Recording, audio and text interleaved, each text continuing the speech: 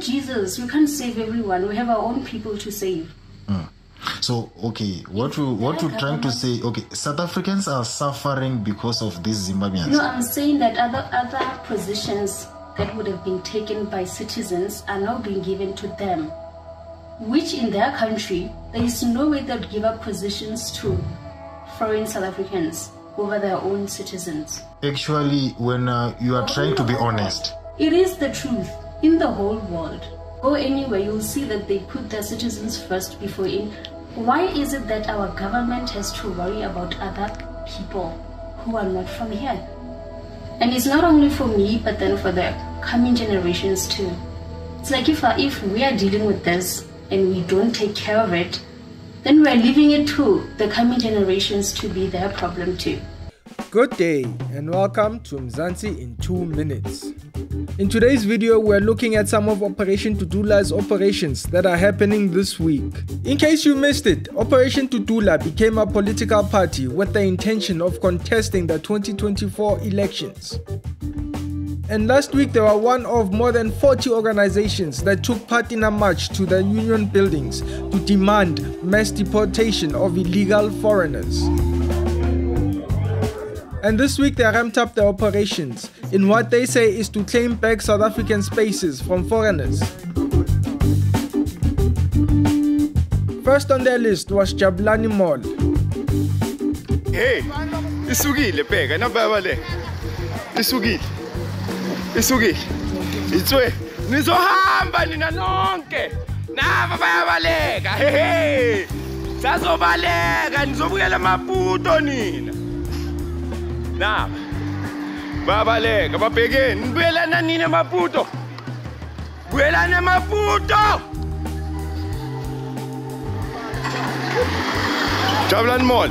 Itswe. Nabo bhekani bhekani mababuyele emakubo mababuyele emakubo buyelana emakini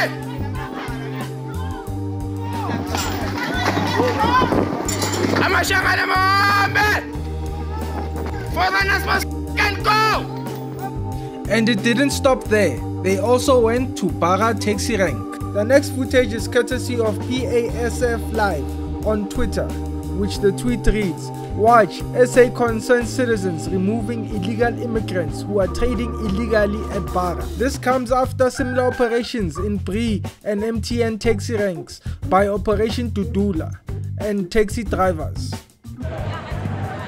Forward citizens, forward, we are here eh sisesoweto ebhara le bathi inkulu iyahluleka. Sikhona ke lana thina siyama South African concerned citizens. Abantu bayapaka kumele bapake bahambe. Everybody must go they must go back to their countries. All illegal immigrants they must go no asikhale isikhale abahambi bonke. Bayahamba akudlalwa kuyapakwa. Nakanjani forward citizens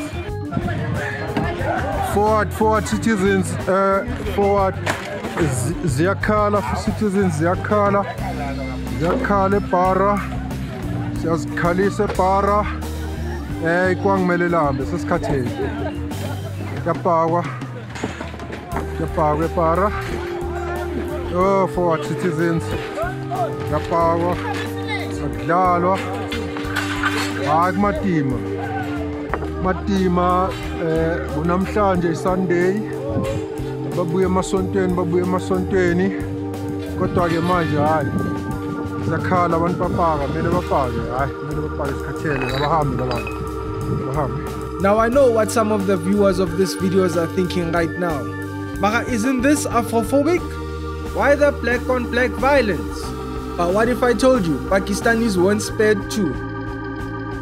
avala wonke amashophu savala sidlali vala.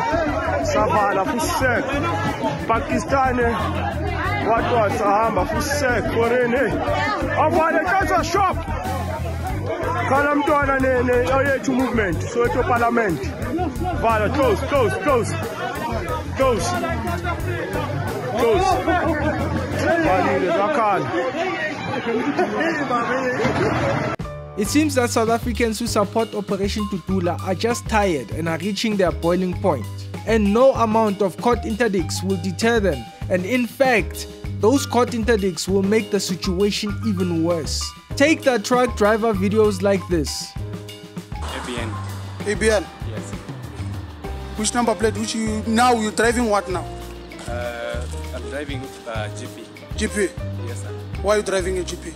I was ju- I was just in the garage. I was just being sent come and offload. That's all from box. So you are not allowed to drive the South African registration. You, you know what, ne?